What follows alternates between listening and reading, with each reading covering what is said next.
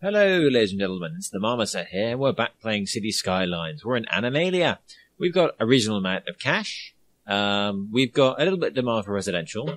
Um, what I want to be doing is we've got a reasonable start on our donkey mines over here, and we're making some good work. But we're struggling an awful lot prop with getting enough workers in. Not enough workers. Lots of abandoned buildings um, because we simply don't have enough workers. In fact, this one apparently, yeah, this one outright burned burned down. So Let's uh, just do a quick double check on our fire services. There's a fire station there, there, and down there. I think generally our fire coverage is going to be good enough that I'm not going to be massively worried about that building that we have that we had a burnt down building there. But the fact we've got a few, what is it about? What are you complaining about? Yeah, so slightly abandoned stuff. So there's a few places here and there, abandoned buildings, not enough educated workers. So the problem is that apparently we're not getting enough people who are well educated, which means we have a problem with our high schools. So if we hit the education tab, we can see we have plenty of elementary high school capacity and vast amounts of high school capacity. We've got two high schools, um, and they're about half full. So it's simply going to be a case of just time. So what we're probably going to have to be looking at doing is putting in some more uh, industry um, that's of the lower rank that just requires educated or uneducated workers. So you kind of get our demand for residential, and you get a bit more cash flowing through our city. So we don't necessarily have a fair bit of space on this side, but we should be able to quite easily add another row in over here. Now I believe that's a one row road. So let's start off by grabbing a one row road coming south a tick, coming across to about there and going up and joining. Grand. Okay, so that should give us a little bit more industry to help with that. Uh, let's just double check our bus routes. So, uh, bus route, bus route navigator. So let's just drag that line down to there. Okay, fine. The other thing I've been having a look at is the taxi stands. Now, taxi stands are used by um, tourists for getting around, and that kind of implies do we actually have any tourists? So policies, economy, budget. Right, taxes, taxes, budget. Yeah, okay. So income from tourists is quite low. Um, there are, I don't think, Let's grab one of our red buses. Doesn't help me very much. Let's see. Leisure, parks and plazas, districts, cash flow, land value, population, crime. Yeah, I don't there's an immediate thing that tells me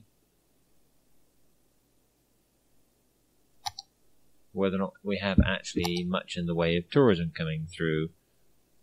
Population, happiness, economy. Let's just quick look at the budget. Yeah, so getting a fair chunk in from our specializations over there, but overall, I don't think we're generating enough tourism immediately to it be worth our while sticking in a taxi rank right now. We don't have any tourist attractions. We don't have any a leisure district yet that would make having that kind of thing worthwhile. So what I am in that case going to do is concentrate on beefing up um, what we've got, really, and increasing our capability. Now, Donkey Mines is the district over here, so that extends pretty much about there-ish or so. So I am just going to trim it back a little bit so that the industrial that's in our little district over here doesn't quite feel the pinch of being in that area. So let's uh, get a slightly smaller, smaller brush, please. Let's just trim that off a little bit there. Okay, grand. So the donkey mines is basically going to be this enormous area. Why? Because that's where we have our ore. It's going to be forestry later on. So that's a little bit of industry in there. Check our districts. No, it doesn't extend that side of the road. I don't really want to go that far. So we've got our bee shopping going down here. We've got the donkey mines. Districts there. I am tempted to think about putting a new industrial area in over here. Not a particularly large one, but let's see what kind of if we get any growth when we speed the time up. If we get much in the way of growth. Yes, I know, a building burned down. So we can hear dingings, that's always a good noise. Please start grading. Flat out looks, gentlemen, that we don't have any demand for that, so that means we need to be looking at having some more residential now. Miss, I know a, building burnt down. I'll um, fine. I will go and demolish it. It makes you happy. There we go, demolished. So what we need to be thinking about is okay. Well, what do we need at residential? We need to increase the demand. Now we've got quite a bit of residential is still filling in and arriving over here. So yeah, looks like we just need to kind of sit and wait for a little bit. Run the speed up. Hmm, just try and fill in and flood out. Now we are so next up, we're a small city where we get train stations, rest of it, start plugging in a few bits and pieces. Um, yes, I have all the new shiny buildings. I have a load of extra bits and pieces, but ultimately, I just don't have the demand. Where's the red route? Bus line, line color. Okay, fine. Let me grab the bus station tab. The red route is that one. It's apparently quite a busy one. Not immediately fussed. Everything is just neatly flowing around and all filling in. So I'm happy with our bus solution. Hmm, what the hell we're doing with our healthcare? There we go, health. Plenty of there. Plenty of capacity in that. Garbage, landfill use 78%, not an immediate concern. Oh, a new building's actually gone in. Yes, they are, but more shiny new buildings. We are actually starting to fill out a little bit. And that's rapidly filling up. Okay, I think it's perhaps time we looked at investing in a new area, extending this way and putting ourselves up a new residential area. The thing I am slightly concerned about is traffic. Yeah, let's do. Let's uh, let the time run on a bit, and let's do some traffic surveying. Traffic, traffic, transport, traffic. Where are we busiest? Where's it blocked up? Where are we having problems? All right, well, that's going to be a bit of a bottleneck because so many of our bus routes run back and forth across this bit. But I'm not it's not tailbacking too much, though on the coming in it is quite a bit. That junction's working fine. This isn't the greatest it could possibly be. Okay. So let's have a look at dealing with this little bit of traffic first. Um, just knock the speed down to one while we were. Um, what's this building? That's a medical clinic. I can move that. Get over there. What's this? It's a fire station. You can move that. Get over there. Yes, unhappy is unhappy. So that junction is essentially because it's a three-way junction. I've got a lot of traffic coming in this way, and then it's coming round and it's looping. So people trying to get across that way into the district. Whereas I think I don't necessarily so they're not, they can't turn right, so they're not crossing there. So it isn't because these guys want to get into the district. Hmm. I am thinking about whether or not it might be worthwhile having all of these going through one way and then coming out the other. But I'm getting the impression there's an awful lot of trucks coming around and going other places inside here. So it's the fact that the entranceway also happens to be the exchange point between the system. I don't know if upgrading this road will actually help that much. No, I'm gonna move these two guys back. Um, but definitely, I think when it comes to time to looking at expanding this district, we're going to have to look at re-rigging some of these roads. I think possibly uh, demolishing the entire area and re-rigging the roads. I don't think the roads here are going to be sustainable. Though maybe when we get the rail yard in, we'll look at rebuilding it a bit. But I think perhaps looking at maybe putting a a heavier road down the centre is probably going to look like going to be a better idea. Okay, so the other point of traffic concern we had was this on the way in. So there's a big gap between the ra- the uh, sections here, but we are getting a lot of traffic. It's mostly buses, so I'm not immediately concerned. Um, and the buses are moving, going back and forth and all the rest of it. I think it's probably because we've only got one lane here, so I think it might be worthwhile. Much as that little bit of bus route stretch along here is helpful, I don't necessarily think that we need it all the way along here. So let's click the upgrade tool and upgrade. I'm going to leave that section because it's really useful for these bits. But okay, so I can upgrade that section. And I will do so.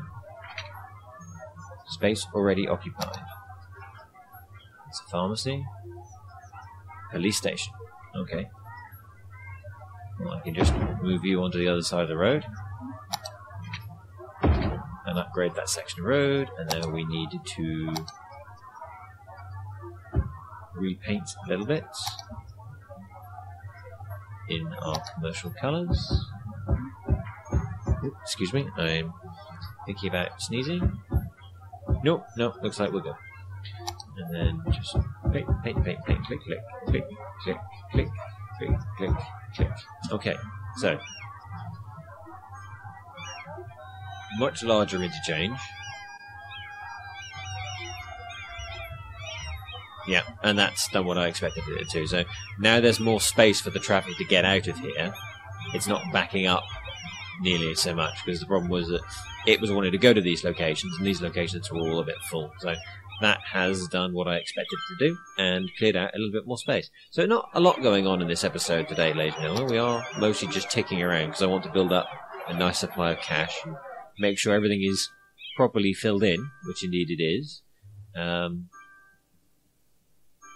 also try and reduce the number of unemployed workers we've got. Yep, I know it's an abandoned building. It's lowering my prices. But fortunately, with these guys, don't mind so much. So yeah, there's simply not that much demand. Increasing demand for commercial, but I think I might want to really rocket that up a bit more before I start building a bit more. So I think the solution is going to be a large amount of new residential area, and essentially extending in and just filling in this area here with a new residential area. So I need to think about what I'm doing. Now we've done Dalmatian Heights, we've done circles. Now I'm thinking what we could do is some kind of squid based shape.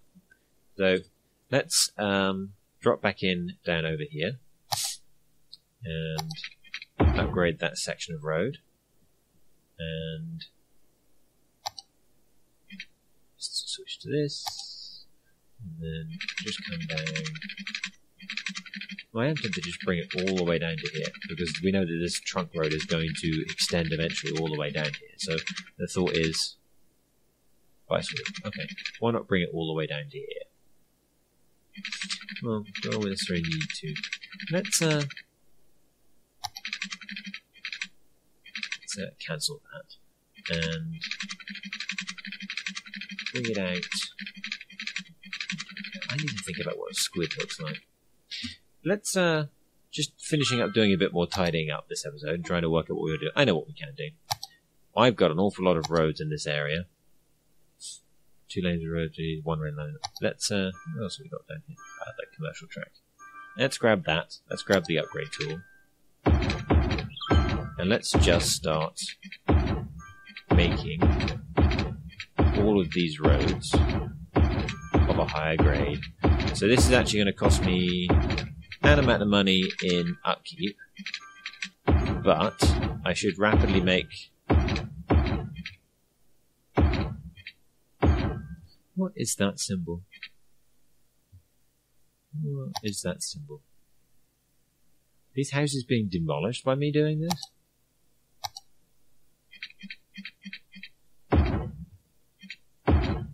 Yes, some of them are. So obviously, but in terms of the shaping of how these roads are going in, it's deciding that some of these roads have changed enough that it's going to actually demolish the house, which is unfortunate. So we're going to have a bit of a weird random housing crisis after doing all these upgrades and these clickings. What I'm thinking about for the next area is I want to do something squiddy shaped.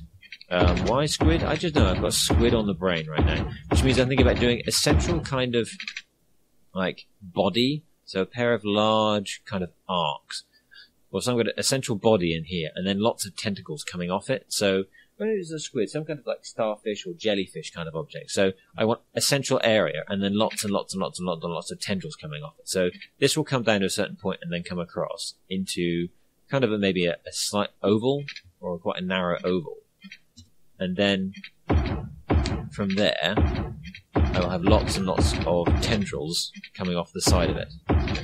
So this is going to improve greatly the value of all of our roads in this area. So it will make Dalmatian Heights a significantly nicer place to live, which should increase, hopefully,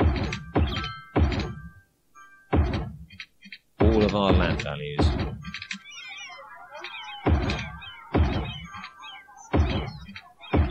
Now, has this changed it to a two-way or not? So I'm pretty sure, yes it has. So what I wanted was a one-way.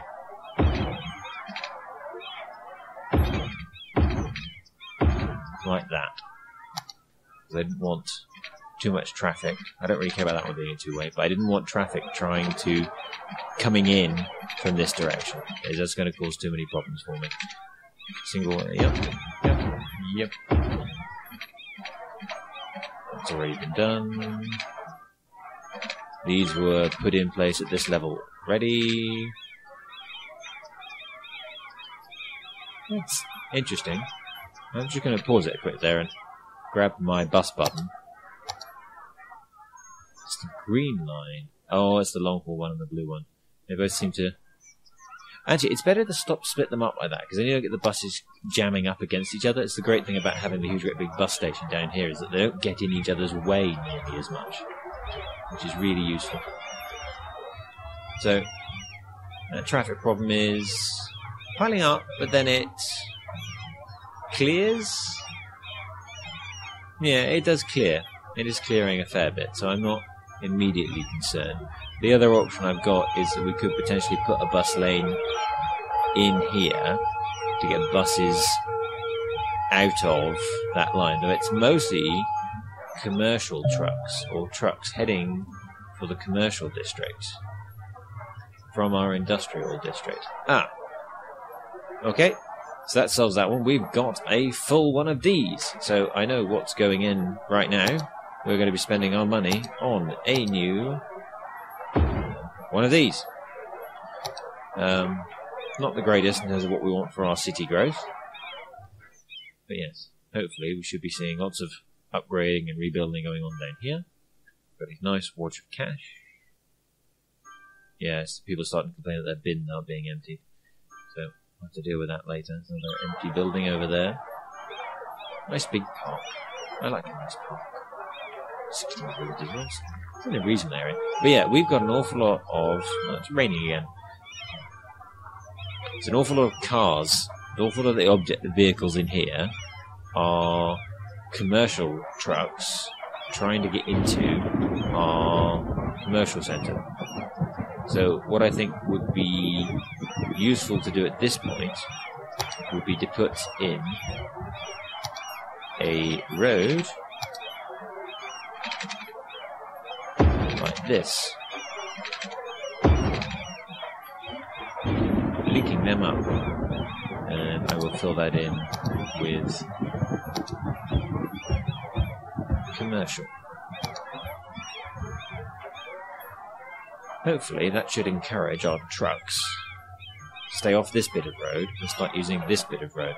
Now it's night time, so all the delivery patterns and the road stays change. So I have to wait on that. But in the interim, we've got quite a large sum of money. Um, I'm pretty happy with this, so I am going to call it for this episode. Thank you very much for tolerating me, mostly just moving things around, having a poke, occasionally looking at bits and pieces here and there. Um, But uh, hopefully, in the next episode, now we've got a few of our little transport bugs on, and while we've been doing this, we've got a nice wad of cash. We should come up with something nice and interesting we're doing in the next episode, which will mostly involve some kind of tentacly, squiddy, jellyfishy kind of area down in this space, briefly illuminated by that lightning strike. There you go, and there's the thunder. Thank you very much for watching, ladies and gentlemen. I've been the Marmoset, and this has been Cities Skylines. Please remember to like and subscribe.